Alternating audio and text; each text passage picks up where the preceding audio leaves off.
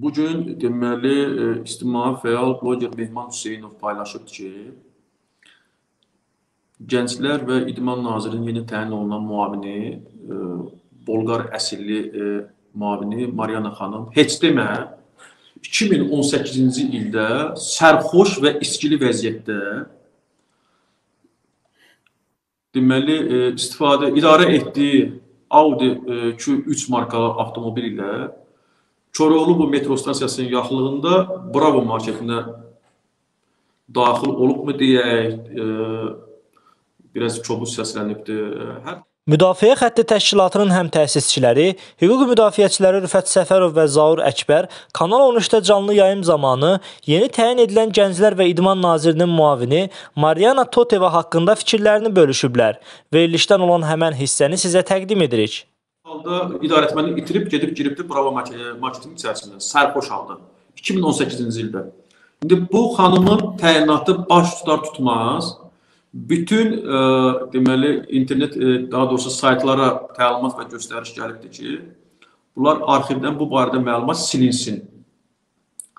silinsin və ə, e, bir məlumat arxivdə qalıbdır və bu gün e, Mehman bəy bunu ictimailəşdiribdir. E, mənim yadıma nə düşür? E, o düşür ki, dövlət başçısı İlham Əliyev dəfələrlə çıxışlarında deyirdi ki, qudrulan insanlar, məmurlar e, təkcə özlərinə görə deyil, e, eyni zamanda e, yaxınlarına, ailə üzvlərinə görə və s. məsuliyyət daşıyırlar. Hər bir məmur öz davranışı ilə təkcə təmsil etdiyi nazirliyə deyil, eyni zamanda da cəmiyyətə nümunə olmalıdır.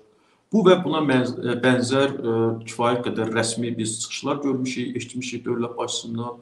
Amma bu necə ola bilər ki, 2018-ci e, ildə sərxoş halda, iskili halda idarəetməni itirən, avtomobili ilə çırpılan Bravo marşrutində bu gün isə nazir müavini təyin olunur. Hələ o başqa söz ki, 10 milyonluq Azərbaycanlı içərisində bir nəfər Azərbaycan vətəndaşı tapılmadı.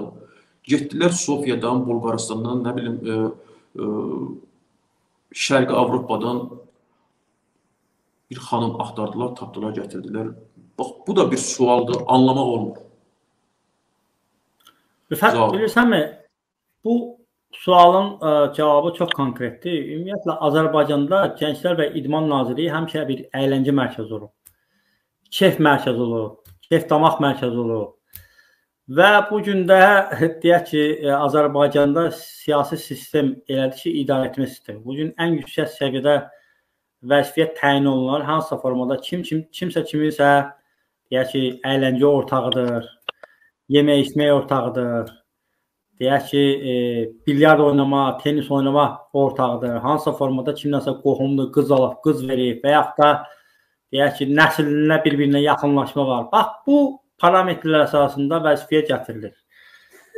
Azərbaycanda ə, qabiliyyətli, həqiqi işıqlı, dövlətinin vətənini sevən, azad düşüncəli insanlar heç vaxt yüksək vəzifəyə gətirilmir. Çünki Azərbaycanda avtoritar siyasi üsul idarə etmə sistemi mövcuddur. Və bu bu baxımdan da bu kadrların seçiminə təəccüblənmək lazım deyil. Sabah deyək ki, Somalidən bir e, nəfəri gətirib qoysalar mədəniyyət və turizm naziri təəccüblənmək lazım deyil. Və e, məntiq də bunu deyir ki, yəni əgər Azərbaycanda təbii ki, e, məntiq işləmir e, bütün parametrlərinə görə e, xaricdən gətirilən menecerlər, liderlər heç də yaxşı işləmirlər. Çünki onlar real vəziyyəti bilmirlər. Bura bağlı deyillər. Burada yaşamayıblar.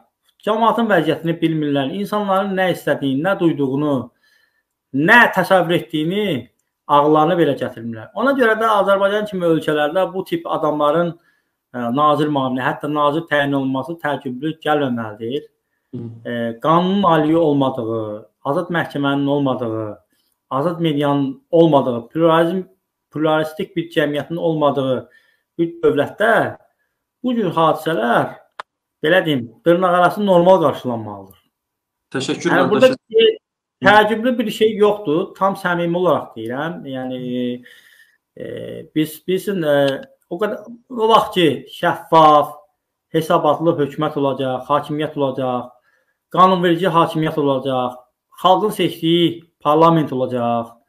Qanunların işlədiyi bir dövlət olacaq, azad məhkəmə sistemi olacaq, azad media olacaq, vətəndaş cəmiyyətinin fəaliyyəti üçün normal imkanlar olacaq. Nə vaxt ki ölkədə azad və ədalətli seçkilər olacaq ən əsası.